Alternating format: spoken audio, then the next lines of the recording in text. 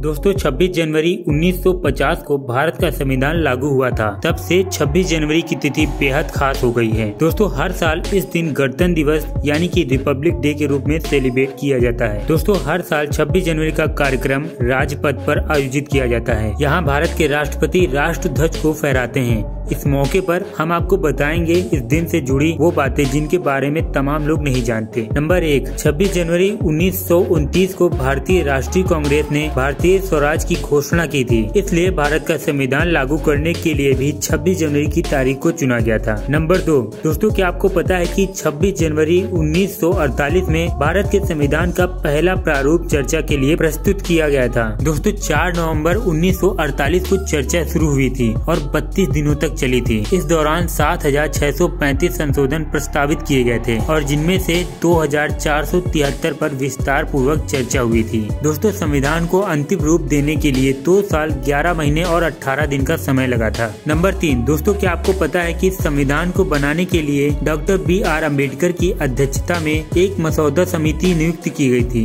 मसौदा समिति का अंतिम सत्र 26 नवंबर उन्नीस को समाप्त हुआ था और सभी की सहमति से संविधान संविधान अपनाया गया था। 26 जनवरी 1950 को इसे देश पर लागू किया गया था। नंबर चार, दोस्तों क्या आपको पता है कि 26 जनवरी को परेड के दौरान राष्ट्रपति को 21 तोपों की सलामी दिए जाने की प्रथा है। 21 तोपों की सलामी भारतीय सेना के सात तोपों से दी जाती है, जिन्हें 25 पाउंडर्स कहा जाता है। पहली सलामी राष्ट्रगान शुरू होते ही दी जाती है और आखिरी सलामी ठीक बावन सेकंड के बाद दी जाती है। नंबर पाँच, दोस्तों क्या आपको पता है की संविधान की मूल प्रति को हिंदी और इंग्लिश में प्रेम बिहारी नारायण राय जादा ने लिखा था। इसे लिखने में उन्हें छह महीने का वक्त लगा था। इस काम के लिए भारत सरकार द्वारा कॉन्स्टिट्यूशन हाउस में उनको एक कमरा आवंटित किया गया था। नंबर छह।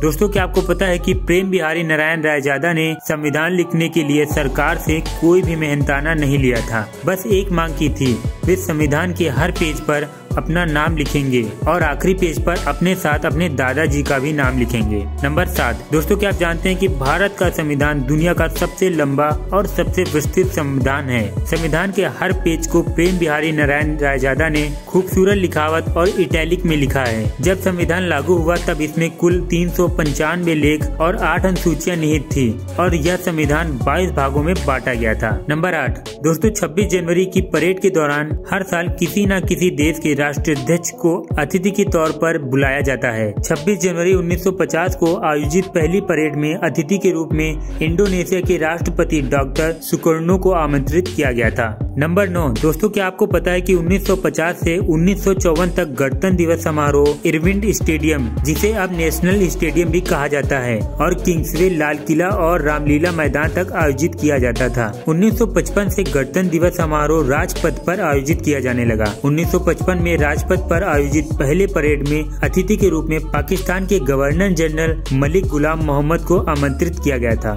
नंबर दस, दोस्तों क्या आप जानते हैं की गणतंत्र दिवस तीन दिवसीय राष्ट्रीय त्योहार त्योहार है, जो कि 29 जनवरी को बीटिंग स्ट्रीट समारोह के साथ ही खत्म होता है। दोस्तों, आशा करता हूँ आपको जानकारी पसंद आई होगी तो कमेंट करके ज़रूर बताएँ। और हाँ वीडियो को एक लाइक करें, चैनल पर नए हैं तो सब्सक्राइब करें। मिलते हैं किसी नई जानकारी के साथ, तब तक के लिए नमस्कार।